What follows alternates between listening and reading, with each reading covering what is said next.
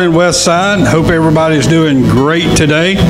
Um, Bible says, "This is the day that the Lord has made. I will choose to rejoice and be glad in it." Amen. That's right. Right. We're uh, we're glad you're here with us this morning. We welcome all of those who are uh, joining us online. We just say, "Hey, good morning to y'all too." We're going to pray, and then we're going to jump into uh, an awesome worship set this morning. We're here to uh, to lift up the name of Jesus. Amen. That's what we're all about here. Father God, we thank you for this day of life.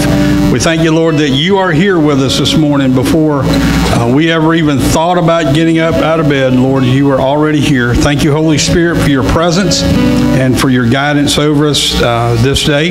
We ask you to bless us, Lord speak to us today. Let something that is sung, something that is read, something that we hear, um, something that we hear from you, Lord, uh, calls us today to leave here being more on fire for you and more about lifting your name up and proclaiming your name uh, in our community, in our church, and in our world. Uh, we thank you for your, uh, your spirit. We thank you, Lord, that you're here with us, and we ask it all in Jesus' strong and powerful name. Let the church say, Amen. Amen. All right, well, stand with us, if you will, as we worship today. One, two, three, four, five, six.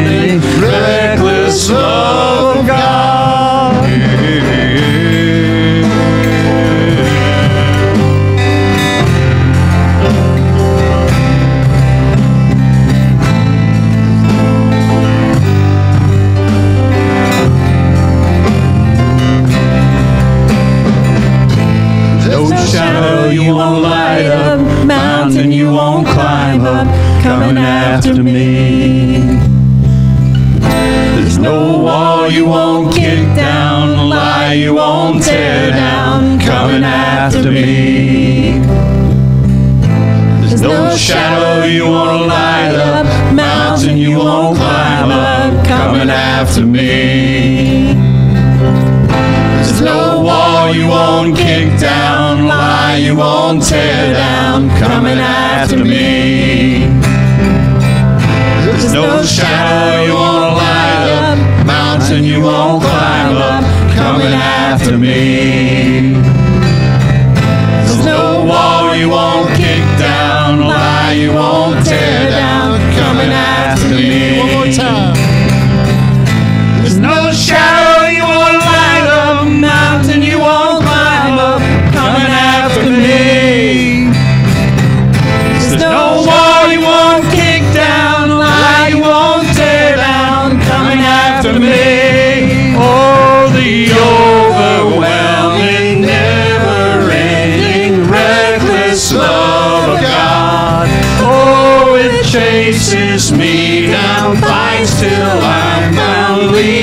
The 99. I couldn't earn it, I don't deserve it, still you give yourself away. Oh, the overwhelming, never-ending, reckless love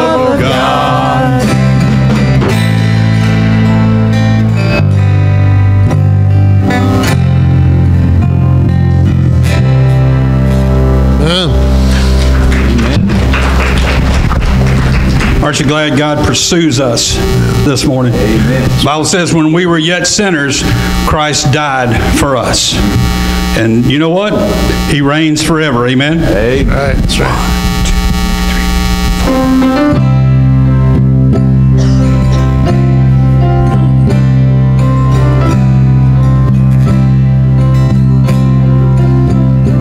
You are good, you are good when there's nothing good in me.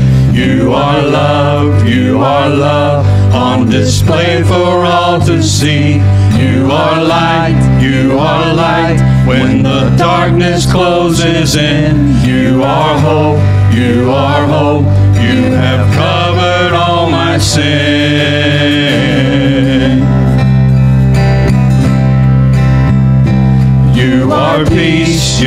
You are peace when my fear is crippling.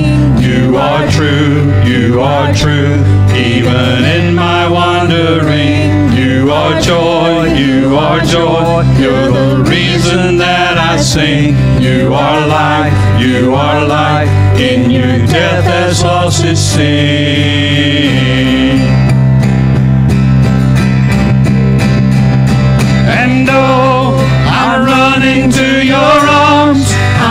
I'm running to your arms. The riches of your love will always be enough. Nothing compares to your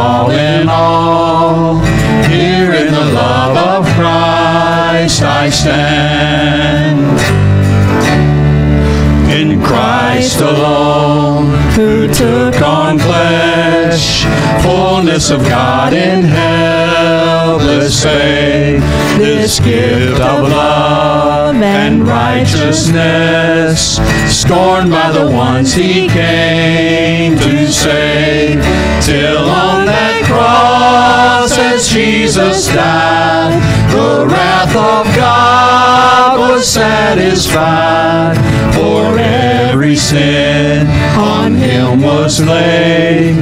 Here in the death of Christ I live.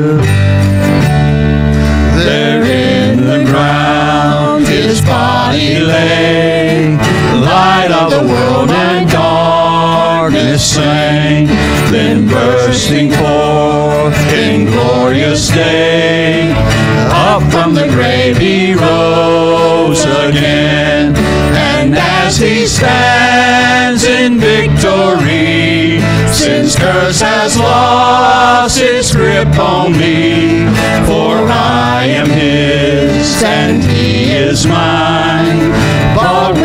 precious blood of Christ. No guilt in life, no fear in death. This is the power of Christ in me. From life's first cry to final breath, Jesus commands my destiny. No power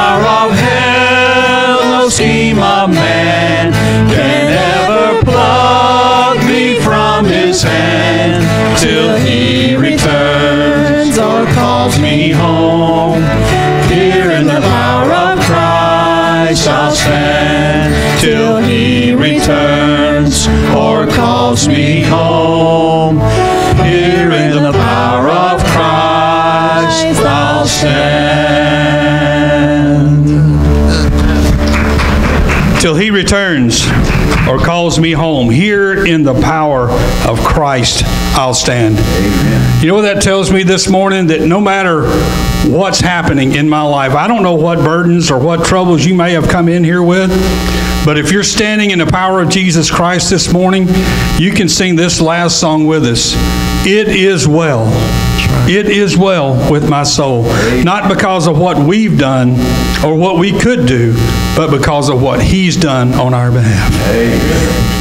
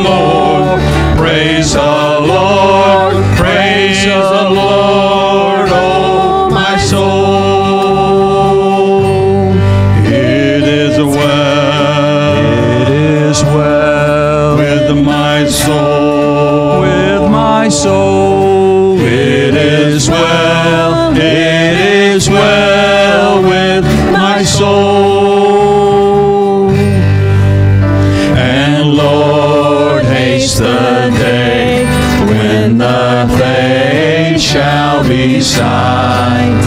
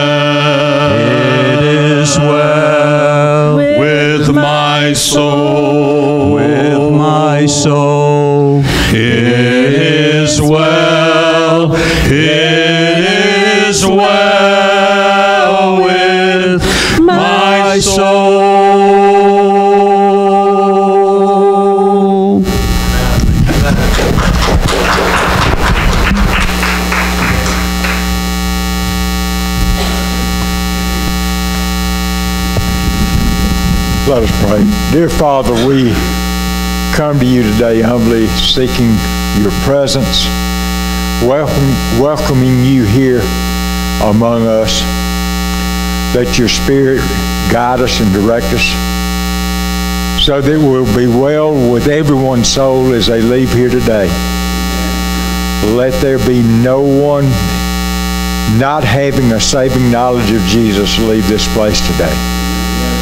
Let each one bask in the peace of knowing your love and your grace and our Master, our Lord Jesus Christ.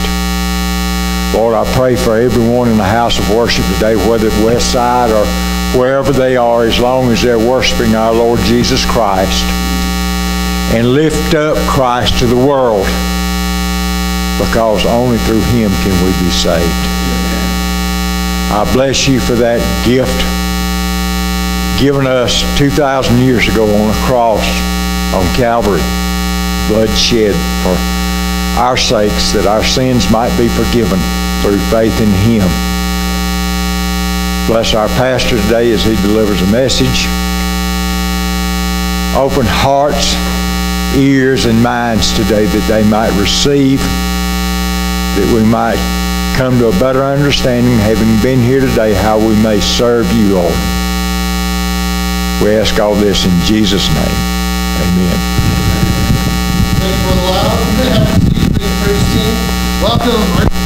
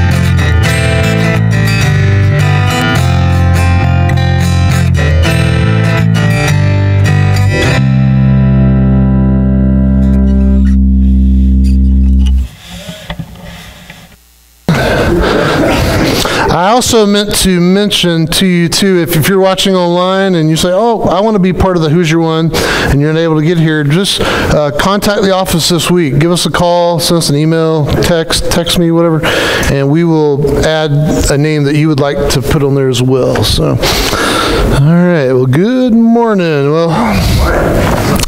Um, couple of house cleaning things before I get into the message this morning. Uh, as you know, we've been going out into the neighborhoods, canvassing our neighborhoods, uh, started a couple weeks back, and we're going to do that all the way through Easter. We've got about 1,300 homes that we want to canvass. We have door knockers that we're putting on there and trying to just engage people uh, as we see them out in the washing their car, doing all sorts of things there.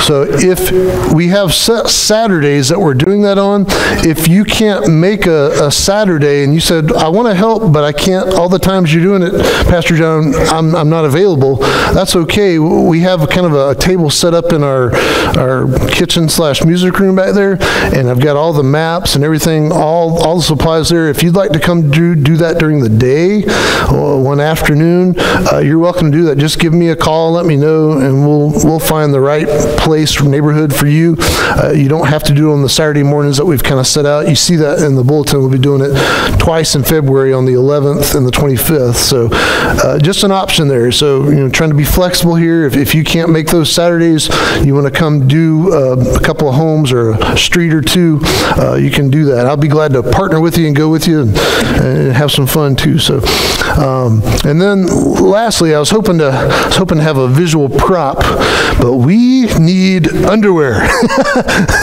we are what? Okay, we are we are we are going to collect.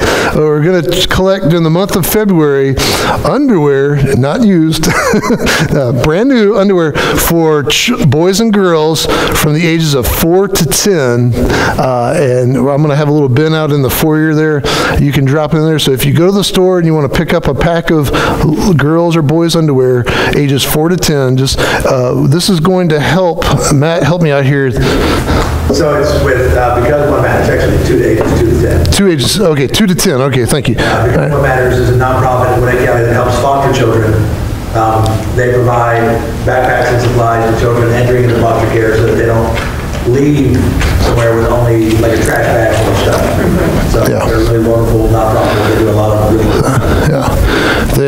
hoping to get a thousand pair, I think, at the end of the month. So we can be a part of that. So everything you bring will go towards that. So help them reach, reach their goal there. So, so if you're shopping around and you see, hey, there's a pack of underwear, I can grab that. So, and uh, so we'll do that. So, all right, bring underwear and, and come out and visit. So, all right. So I mentioned this last week, kind of, kind of teased a little bit. You know, what would it be like if you have four preachers, four pastors preach on the same passage of Scripture, you know, what would it be like? What would you get? What would you know? What it would be like? Would it be the same? I, I bet not. I bet it's going to be vastly different. So we're going to start something this uh, starting today for the next four weeks. Uh, we're going to do a series called Love Is, and we're just going to talk about 1 Corinthians 13. We're going to go in there, break it down. We may jump out of 1 Corinthians 13 and look at some examples in um, uh, in the other parts of the Bible and, and see.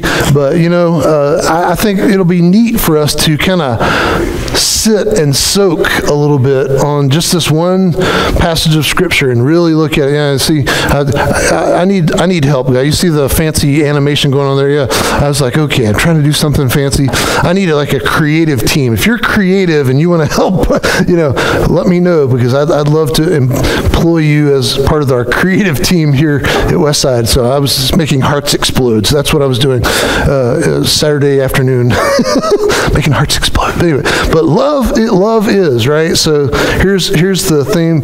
Most people are familiar with 1 Corinthians 13. You know, you probably hear it if you've been to a wedding.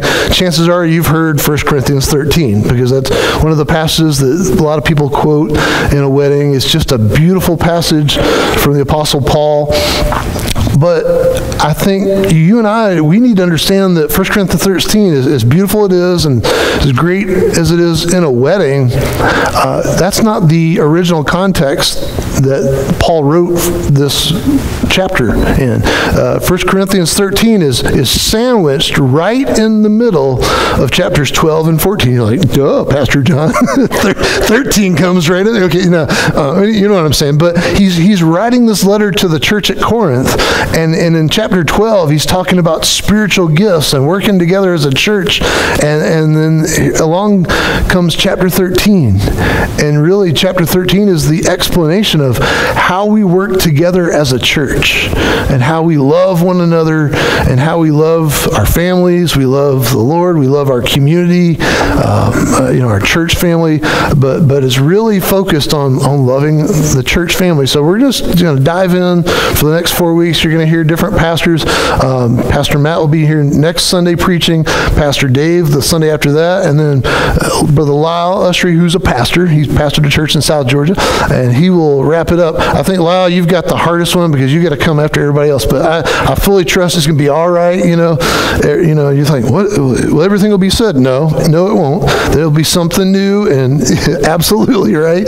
Yeah, exactly. So, but love, love, love is love. Man, it's defined. Uh, by a lot in our culture. Uh, love has been redefined, uh, I think, in a lot of different ways in our culture, especially now. Uh, somebody might tell you that uh, if you accept them for who they are, then you love them. Somebody else might say, well, if you treat me good, you give me gifts and give me attention, that means you love me, right? Uh, another person might say, well, if you give me freedom with no boundaries and let me do what I want, that's, that's really love, right? Okay. Um, but what, what does God say about love? How would he define love? I mean, after all, God is love, right? That's what First John says, that God is love. And, and, and so what does his word say about love? And I think if God is our creator, which I believe that, and I hope that you do too, if God is our creator who knows us best, he alone knows what love really should be about and what love is. And so I think we ought to zone in and lean forward, lean in, if you will, and, and pay attention and say, okay, God, what do you say uh, about what love truly is? So, uh, and we're going to see this morning from the title, go ahead there, next one. I, I believe that love is supreme. Um, I think we're going to see from the scripture this morning that, that Jesus taught that love is above every other command that, that God gives us in Scripture. Love is the highest. And so we're going to look at that this morning. Um, you know, supreme. I was talking with Brother Jim on Wednesday before the, the kids club started and all that, and he, we were just talking about pizza. You know, it was a pizza night for the kids, and he says, well, he said their favorite pizza is this one pizza is called the Super Supreme. It's like he didn't know. I was like, he's giving me he's giving me stuff for my sermon right here. All right, you know, it's the super. It's not just the Supreme pizza. It's the Super Supreme pizza pizza, right? You know, like, and we have all these different names that we name, you know, Supreme this and Supreme that, and it's just, it's interesting, isn't it? Uh, there's Supreme pizzas, there's, if you go to the gas station, you have Supreme gasoline, right? It's just not the, the regular kind, it's the good kind, right? You know, makes your car run so much better. And, uh, and then there's, there's the Supreme Court of the United States. We, you know, it's the highest court in the land. Uh, we have the Georgia Supreme Supreme Court in Georgia. And then there's and then there's all the businesses, uh, all the businesses that try to capitalize on their their business being the best. You know, whether that's Supreme Dry Cleaning or Supreme Donuts or Supreme Plumbing or there's Superior Plumbing. Anyway, but you know, all these different uh, Supreme businesses, right? Their, their business is the top. You come to them, you'll have everything you need, right? So eh, you know, there's this idea that it's Supreme is the best. Well, according to God's word. And I think the passage we're going to look at this morning, Jesus has said it, and Paul repeats it here. The, the command to love is supreme in Scripture, church. And this is something that uh, this will be a little harder for me. Uh, we'll see as we get into the, the passage here in just a minute. But uh, th- this is what we, as God's children, we should focus on over, over anything else. So let's read the Scripture together here. Uh, 1 Corinthians 13. And now I will show you the most excellent way. If I speak in the tongues of men and of angels and have not love, I'm only a resounding gong or a clinging cymbal. If I have the gift of prophecy and can fathom all mysteries and have all knowledge, and if I have all a faith that can move mountains but have not love, I am nothing. If I give all I possess to the poor, surrender my body to the flames, but have not love, I gain nothing. Love is patient, love is kind. It does not envy, it does not boast, it is not proud, it is not rude, it is not self seeking, it is not easily angered, it keeps no record of wrongs. Love does not delight in evil, but rejoices with the truth. It always protects, always trusts, always hopes, always perseveres. Love never fails. But where there are prophecies, they will cease. Where there are tongues, uh, they will be stilled. Where there is knowledge, it will pass away. For we know in part and we prophesy in part. But when perfection comes, the imperfect disappears. When I was a child, I talked like a child, I thought like a child, I reasoned like a child. When I became a man, I put away childish ways behind me. Now we see a poor reflection as a, mirror. Then we shall see face to face. Now I know in part, and I shall be known fully, even as I am fully known. And now these three remain faith, hope, and love. But the greatest of these is love. Amen. All right. Uh, I want to bring to your attention there three points to you this morning. Uh, the notes are on the back of your outline there. You can follow along. Uh, but the uh, first thing I want to talk to you about supreme love is that supreme love must accompany practical Christian lives. Our supreme love must accompany our practical Christian lives. Paul begins this chapter 13 by discussing or just using four spiritual gifts as kind of examples and, and, and of the importance of love there. Uh, you see again, he's uh, number one is tongues, the second one is prophecy. The third one is faith. And the last one is, is giving. Look, as I read it to you again there, he says, If I speak in the tongues of men and of angels and have not love, I'm only a resounding gong, a clanging cymbal. If I have the gift of prophecy and can fathom all mysteries and all knowledge, if I have a faith that can move mountains but have not love, I am nothing. And then lastly, he says there in verse 3 If I give all I possess to the poor and surrender my body to the flames, but have not love, I gain nothing. And so remember, chapter 12, your homework this week is go back and read chapter 12, 13, and 14 all together. You'll get the big picture there. But Paul just finished talking about the spiritual gifts in, in, in the chapter before this.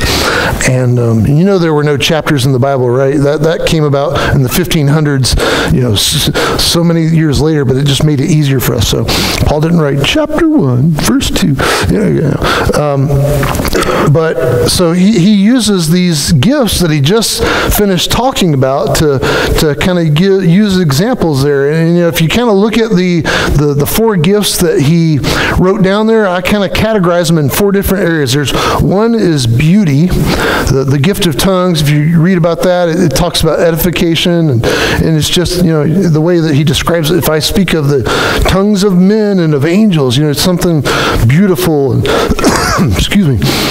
The, the second part of that, you, you, see, he talks about prophecy, and you think about wisdom and knowledge and everything that we obtain and understand and learn and know.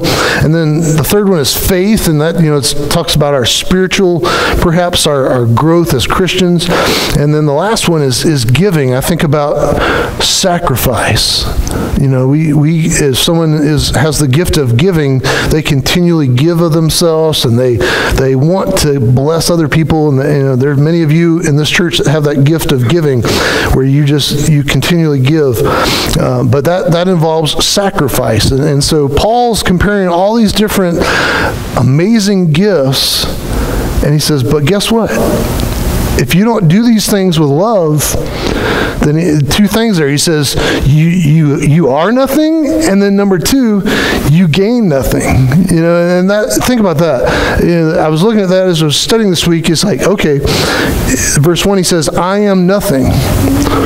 If, if I don't do anything with love, that doesn't amount to anything. And, then also, there's those in us, in our world, in our culture, that think, man, if I do this, if I sacrifice and I give, if I learn all this knowledge and have all this stuff, and I'll just gain all this, then I'll really be something, right? But Paul says, no. He says, you, you gain nothing. You, you may spend your whole life trying to, to, to get to a certain point. You know, and our, and our world does that. They they're trying to obtain the highest of knowledge and all this information. But Paul says, but if you do these things without love, you gain nothing. There, there's nothing that you can add by doing these things. And I think that's so important for us to, to see that. And for you and I, where, where do we stand on these things today. If we look at it, are, are we so focused on our own personal discipleship that, man, I got to learn the Bible, I got to memorize this, I got to read, read, read, but we're kind of void of loving other people, and we're so zoned into the Word of God and, and learning more and more and more, but we really don't express love to people. It's just all about knowledge to us. Could, could that be us? Or are we maybe checking off boxes on our Christian faith. Well, I've come to church today, so I'm good for the next two or three weeks, you know, or I, I, put my tithe in the offering plate this afternoon, so I'm good, you know. Are, are we going, are we thinking, oh, I'm, I'm making great sacrifices? But yet, we're not living in a, in a sacrificial love that we're making those sacrifices because we love people and we love other people uh, you know, things to, to consider out, you know, for, for you and I. Um, we just had Martin Luther King uh, Jr. a couple weeks ago, the, the day we remember him. This is a quote from Martin Luther King Jr. He says, A man may be self centered in his self denial and self righteous in his sacrifice his generosity may feed his eye and his piety his pride. Without love, benevolence and martyrdom become spiritual pride. And so, and, and what he's saying there, let me rephrase that to you. If, if we do something as a Christian and we're just checking off the boxes and we're doing it void of love, then it becomes a spiritual pride that might well up in us. Oh, I've done this and I've been to church for uh, this many years and I've taught this Sunday school class and, and but church, do we do we love people as we serve? Do we love people as we give? Do we love people as, as we break open the Word of God? Is, does that, is that what motivates us to, to learn the wisdom of God so that we can impart it to other people? That's, that's where I want to question us today. Are, are we just walking through the boxes? Are we checking the boxes off? Oh, I've done that. Is, but there's a true, is there a true love? For the Lord, for our church family, for our, uh, our family, for, for our community. And so I just want to leave you with that. Secondly, supreme love outlasts the temporary things to the end. Supreme love outlasts the temporary things to the end. Uh, if you go all the way back to, to verse 8 and 8, 9, and 10 there, I'm going to read that to you again. And look what Paul says here. He says, Love never fails, but where there are prophecies, they will cease. Where there are tongues, they will be stilled. Where there is knowledge, it will pass away. For we know in part and we prophesy in part, but when perfection comes, the imperfect disappears. Um, Paul again used he mentions these same gifts that he did when he started the chapter, talks about the gift of tongues and prophecy and wisdom. Uh, he, he brings these things back up. He says they're going to pass away. That stuff it will come to an end. I remember years ago, used to listen to um, uh, the podcast from Ravi Zacharias. Loved his ministry and. Um, we all know where, what happened, but uh, he, he just had the greatest stories and examples that would just click with you, right? And there was this one example, he would probably shared it two or three times in some of his, his messages, but he talked about the, he was so excited in 1973 or 74 when he got his first encyclopedia. He said at the, the very first preface of the uh, encyclopedia he got, he said he read this his statement. It says, In these pages lies all the knowledge the entirety of man. and it goes on to say, you know, everything in these books, and I don't know if it was Encyclopedia Britannica or whatever it was, but, uh, you know, it was the arrogance of this uh, publisher of this encyclopedia said, here's everything you need to know right here. right? And then, how, you know, that was what, 50 something years ago? How much of that knowledge now is obsolete or just old and maybe is updated and needs you know, refreshing. Um, that, think about that. You know, and I, I looked up what what is the biggest library in the world? Anybody know? Library of Congress, right? Uh, let me let me give you a, few facts about the Library of Congress here. Library of Congress was founded in 1800, right before Benjamin Franklin took uh, presence there. It is the oldest federal cultural institution in the nation. The Library of Congress is the largest library with more than 173 million items. Every day, every workday in the Library of Congress, they take in 15,000 different new documents and they shelf about 10,000 of those. some of them are rejected and whatever, but they add 10,000 new documents to the Library of Congress every single workday. Uh, they, since 1962, the Library of Congress has maintained offices abroad outside the United States in order to preserve culture and literature from other nations too. And in fact, of the 173 million pieces of, of uh, documents, almost half of those are in other languages. So wow, okay, so English, but then there's other other languages that they collect too.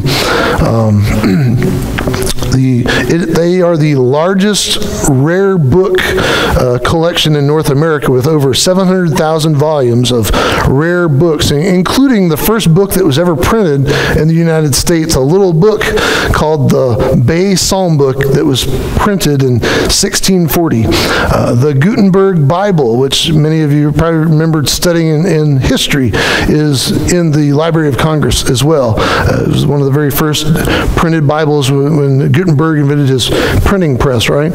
Um, it was purchased in 1930 and placed in there. Uh, the library also holds not only books, but they also hold uh, art and literature and photographs and prints of things. Uh, more than 17 million uh, visual copies of pictures and, and, different items like that.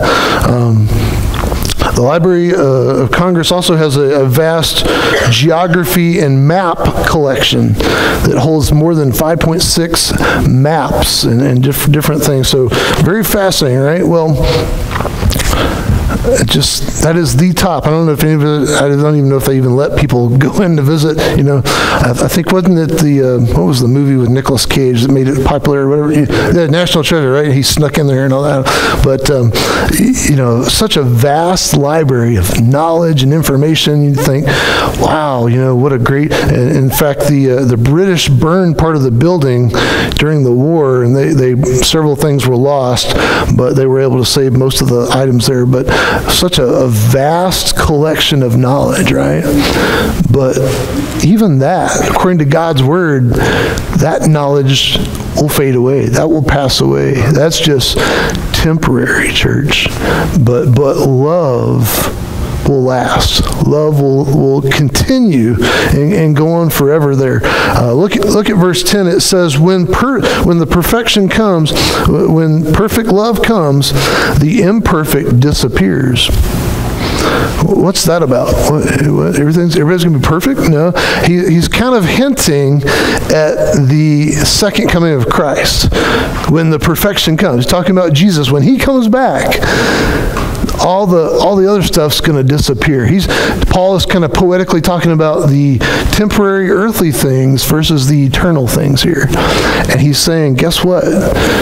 Only, only love is going to remain. Only love is going to be the one that, that sticks. And, and all the knowledge that we have, the tongues that we may speak in, the, the faith that we might have had.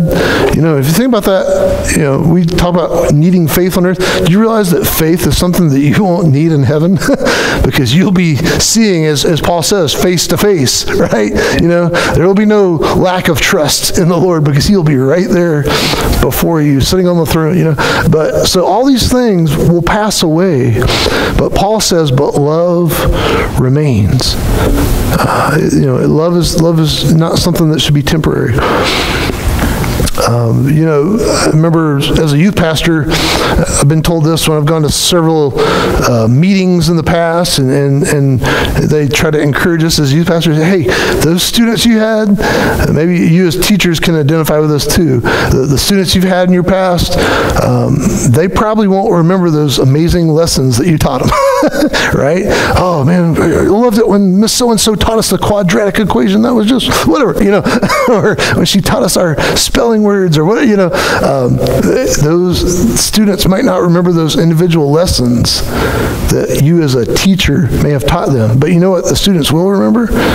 How you love them, how you cared about them, the relationship that you built with them over that year's time as their teacher or a youth pastor if you were there for you know, a number of years or uh, if you're a Bible study teacher, you're, you, I hate to tell you the same thing's true. If you're teaching Bible study and you've been teaching for four, five, six, ten years, you may ask hey, what did I preach about last Monday or last Sunday?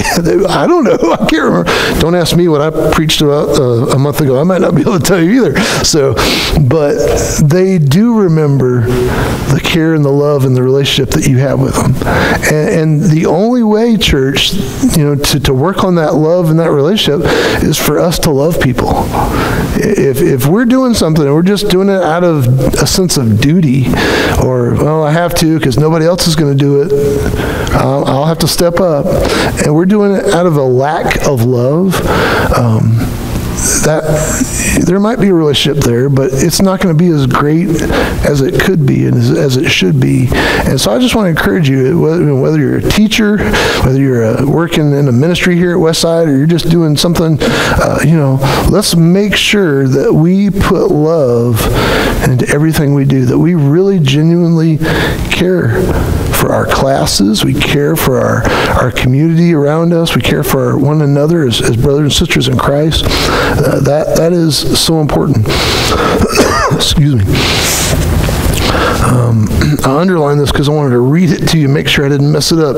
As we strive to make a mark in our community with our church, let's not be misled that we can just simply hand out a food box, that we might give a backpack away, we might collect some underwear. uh, but and give sacrificially in a lot of different ways what we must do as a church, it must be accompanied with love. I mean, we, we have projects throughout the year. We, we give to our community. We do things. But if, if we're doing those things out of this maybe a, a wrong mindset, well, I'm going to do this because that's what will help our church grow and more people will come to our church. That's the wrong mindset.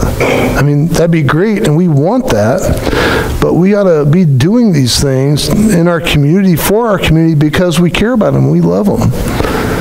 Um, and you know, I don't know about you, but I, I, we can spot the fakes sometimes, can't we?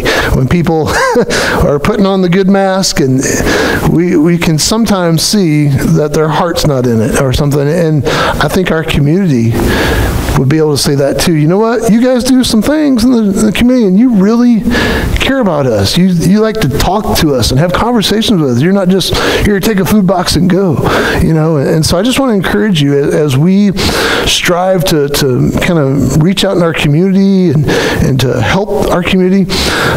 Challenge each and every one of us. Are we doing it because we truly love and have a, a burden and a passion to help our community, or are we doing it because we think it's like a you scratch my back, I'll scratch your back, alternative, you know, ulterior motive type thing? Well, if I give you food box, then maybe you might come to my church. And you know, no, let's. Do we really truly care about our community and our, and our neighborhood? So. And again, I mentioned this last week. You know, if if you're here this morning, it's like, okay, guilty. I hear you. And, and you say, I'm struggling with that right now, Pastor John. How, how do I learn to love my community that I'm struggling to love right now? I think first thing you and I could do is, is to pray and pray for ourselves. Say, Lord, give me a burden for my community. Give me a burden for the people around me that might be different than I look like, and, and help me to to get to know them, to build a relationship with them. And that's that's the key: is you build a relationship with someone. You learn to care for them. I was sitting with a gentleman earlier this week, and what he said clicked with me. I was like, oh, there's add that to my sermon this morning. You know, I asked him, how do you reach out to a, a certain people group that I have no knowledge about myself?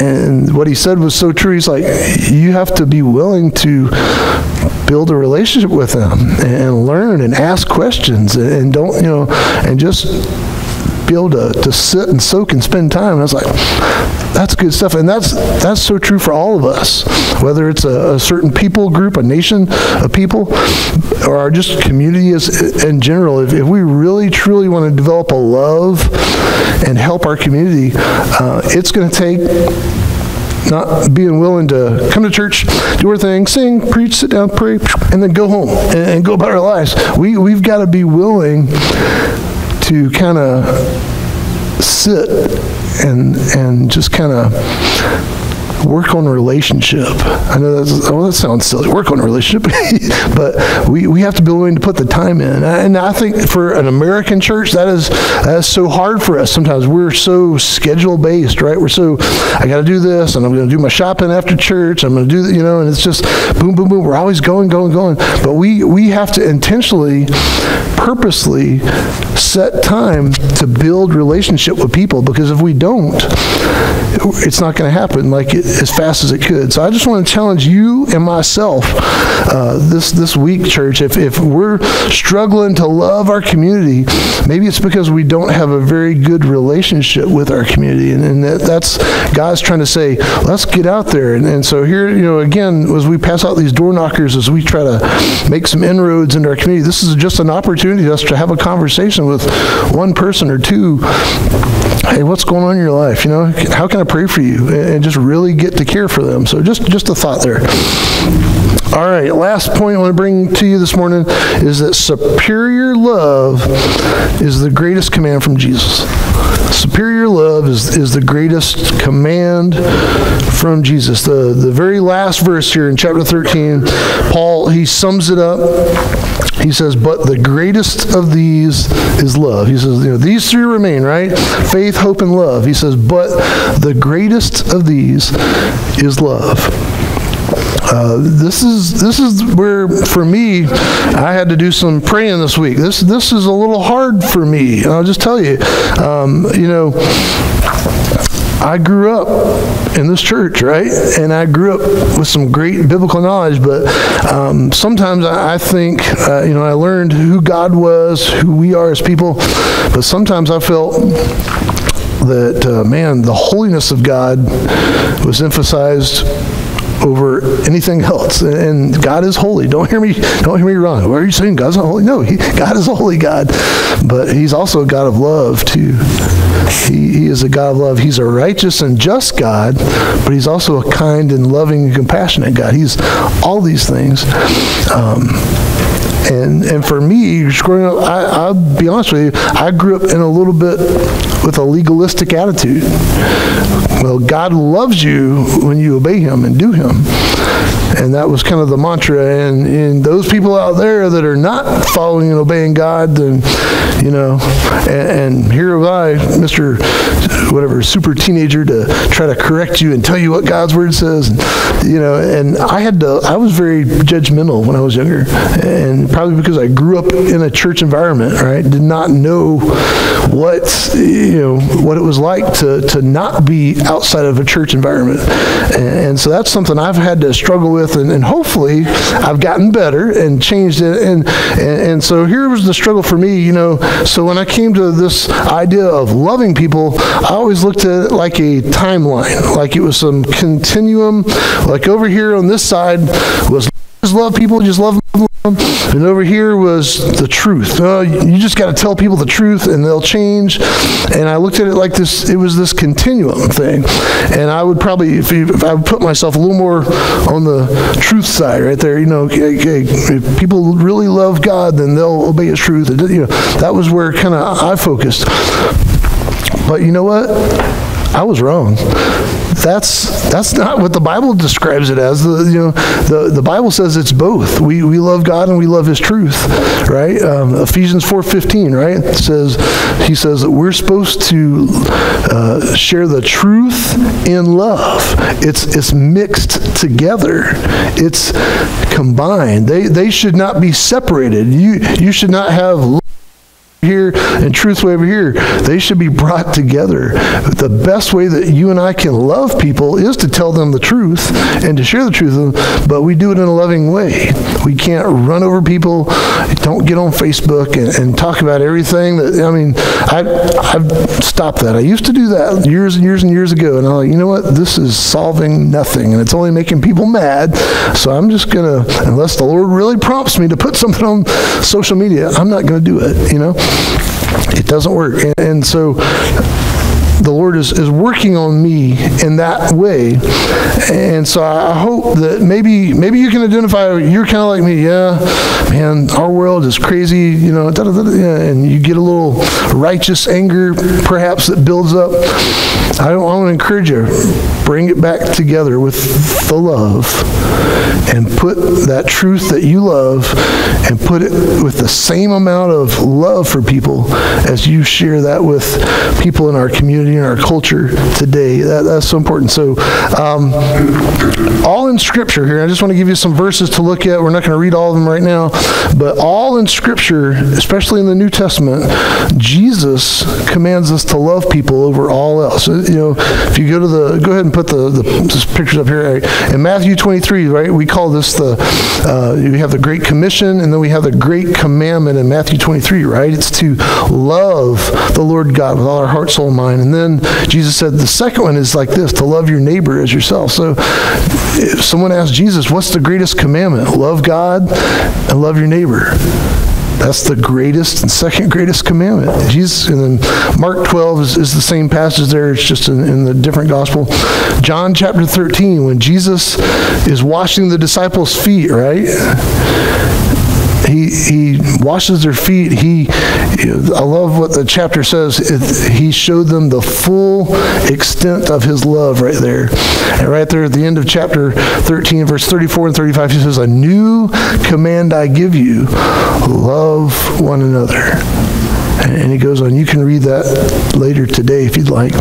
But so again, Jesus is saying love is supreme. Uh, John John 15, you can go there too. The, I am the vine, you're the branches. He again says to, to love, love your neighbor. says, My command is this to love one another as I have loved you. Greater love has no one than this, than he lay down his life for his friends. And then finally, you've heard John 3.16, but do you know 1 John 3.16? That's just a great verse also. 1 John 3.16 says this, that this is how we know what love is, that Jesus Christ laid down his life for us, and we ought to lay down our lives for our brothers. Um, another great passage. All throughout the Gospels, all throughout the New Testament, the, the supreme command that God gives you and I is to love people. And again, I'm fully witnessing, sometimes I struggle with that, especially people that seem to not want to care about the Lord and the things that I care about, right? That's hard for me to love them. But that's that's what Jesus said to do. And so church, as, as we move forward, as we continue to minister into our community, as we love one another uh, here inside the walls, uh, is, is love the very first and, and most important thing that, that we should do. Yes, God is holy. God is a just God, and He is. But as far as the commands go, what God wants and calls for you and I, He calls us to love people and to care for them and to, to do for them. Um, you know, the thing that really teaches me the most, and this is, I'll end on this, is is when I look at myself. you know, it's real easy for me to point the finger, right? We all do this. Oh, look at that person; they're doing that. They're, you know, but then I have to go to myself, and then I have to say, you know what? I don't always do it right either, do I? I I mess it up. I really mess God still loves me. You know, I love Romans 5. It says, but God demonstrated his love for us in this, that while we were yet sinners, while we were still messing it up, while we didn't love him, while we were yet sinners, Christ died for us. That's, that's the ultimate example of love right there. And so I just want to challenge you to leave you with a couple of questions this morning. Are you here this morning? Are you ready to accept God's gift of love for your life? Do you have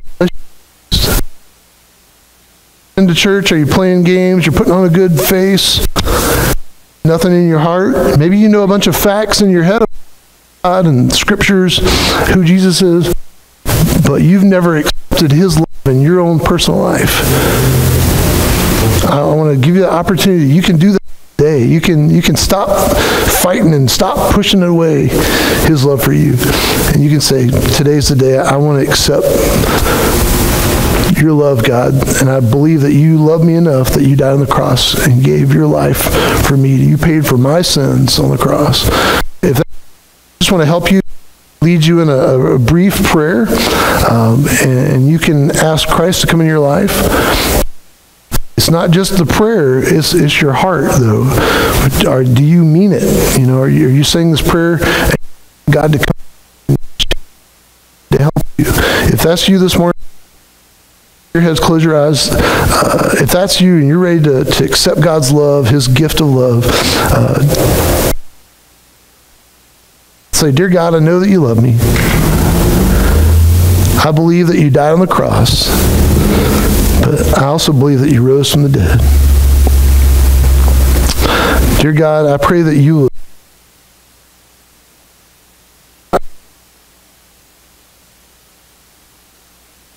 my faith. Help me to repent and turn from my sin and to live for you. Come into my life. Give me eternal life. Help me to live for you the best way that I can. In Jesus' name, amen. Uh, in a minute, we're going to have will be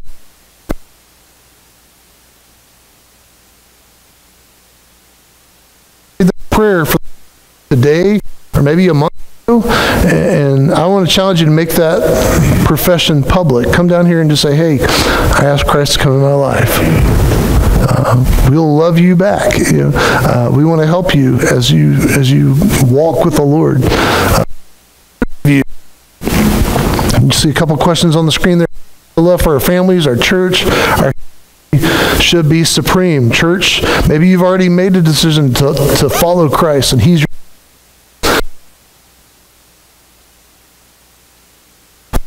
need a, a, recharge? Do we need to refocus and say, you know what? I know we're doing stuff for our church in the community here, but I need to, to restart. The reason that I'm this is because I love our community. I love Snellville and I love Gwinnett and I want to see people come to Christ here. Uh, and I just want to challenge you with that. And then here's here's a practical thought for you for the day. What what is thing that each and every one of us can do uh, maybe you don't figure it out right now in the next five minutes. But maybe before you go to sleep tonight, before you go to bed, what is one thing that you and I can do for one of those groups, our, our families, our church family, our community? How can you practically show that you love them this week? Maybe it's having a conversation with somebody who's sitting at the grocery store and down on their luck and they just need somebody to talk to. That could be it. You know, pray about that and ask, hey, that as part of your devotion or something. God, give me give me somebody that I can love today with the love of Christ. Whether that's at my workplace, my school, the community, wherever it is. And so make that practice do something with it. So let's pray, and then we'll have our time of invitation. Father, Lord, I pray that, that you will be with us now. Your Holy Spirit just has freedom to, to prick our hearts and to show us what you want us to do, Lord. I, I pray for those that maybe made a decision this morning to, to trust Christ. I pray they would have the courage to come down and just tell me that they prayed to ask Christ in their life. And Lord, if there's Christians here, Lord, that need to uh, change uh, and need to uh, reaffirm their, their decision to follow follow you and to, to love people, I pray that they would do that as well. Lord, give us something that we can tangibly, practically do uh, this morning to, to love our community, to love our church, our families, and our, our friends. Uh, we love you, God. We just give you this invitation time. Amen. If you'll stand, the praise team's going to uh, sing a song, and you can either sing along. But I just want to encourage you: uh, come down on your heart to for someone specific that to, to be able to show them a godly love. When peace like a river attendeth my way, when sorrows like sea billows roll.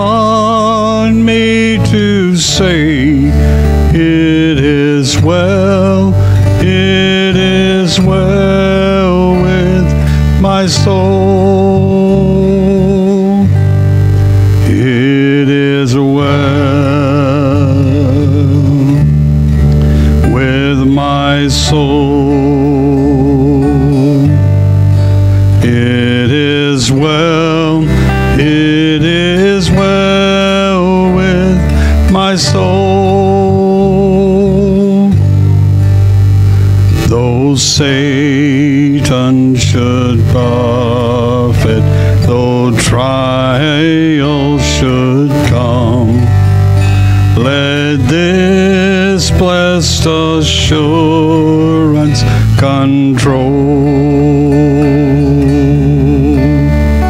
that Christ hath regarded my helpless estate